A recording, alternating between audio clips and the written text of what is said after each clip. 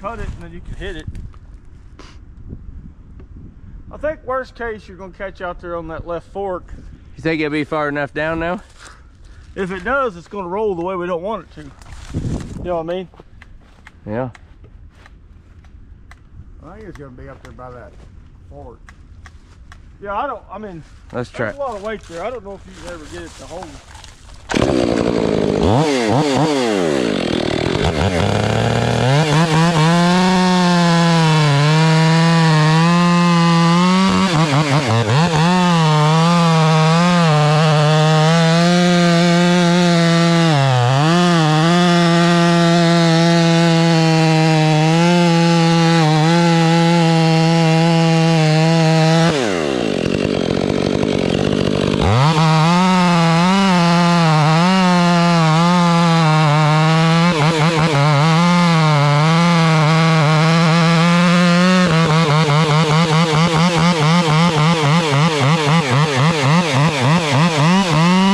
Uh-huh.